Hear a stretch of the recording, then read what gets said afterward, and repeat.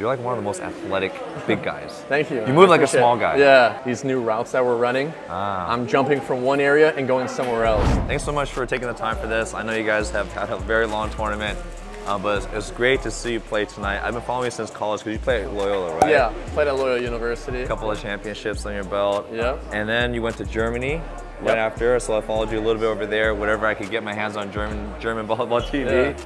And then now you're playing in Poland, right? Yep. So I've been playing in Poland for last year. Okay. And then this next season I'll be going to Italy. so Ooh, really okay. excited about it. It's cool, you know, playing volleyball in Europe. Yeah. I get to travel a little bit around the world Yeah. and I get to see some really cool cities and also play volleyball at the highest level. So, Yeah, that's awesome. Yeah. And that, that sounds like just the entire professional volleyball experience in one, especially being an American getting to travel and to play. Um, but I think one of the best things I like watching about you is you're like one of the most athletic big guys. Thank you. You move like a small guy. Yeah. Right? I don't Well, know. I think it's because I'm light, man. I'm Yeah? light. You know, I can fly around. Yeah? But I think that's why I'm just so offensive because Yeah. I'm quick.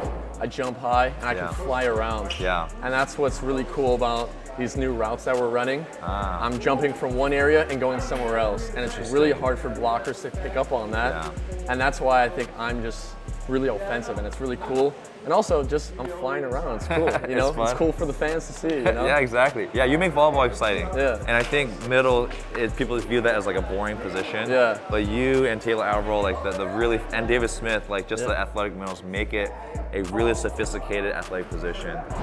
Join our Elevate Yourself membership community to help you stay motivated on your own journey and connect with me on a deeper level.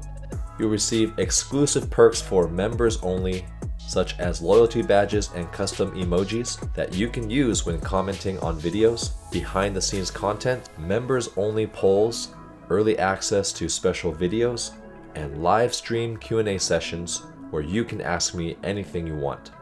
Being a member is also a great way to connect with other hardcore fans and directly support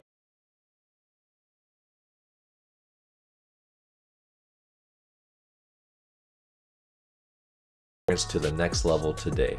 So speaking of the routes, can you share, I don't know if, if coach would like you to share. Yeah, I can't. I mean, I can't Okay, give you all all our good. secrets, but I mean, the cool thing about our team is we have really good passers. Yeah. We have amazing setters. Yeah. And when you have those two things, it's Yeah. really good for to be an offensive middle. And that's Yeah. why I love both of Micah's. Also Josh. Yeah. They're able to throw it into the quick off the net. Yeah. And that's why I think USA is just so so good at what we do. You know, Yeah. we're just really offensive, Yeah. pretty much all over the court. But it's cool as a middle to be able to kill these balls off the, you know, Yeah. 10 feet and further. And obviously it's cool for fans. For sure. I've been seeing a lot of like no approach or just two like a skip hop throw, Yeah. like an intentional one, and that that's just undiggable because the other team's still Not transitioning. ready. Yep. So how is the USA system in your experience different than what you experienced in Poland and Germany?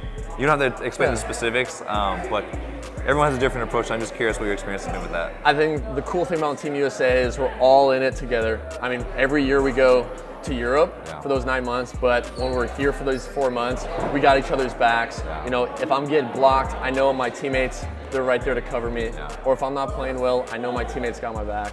And sometimes in Europe volleyball, it's a little bit different.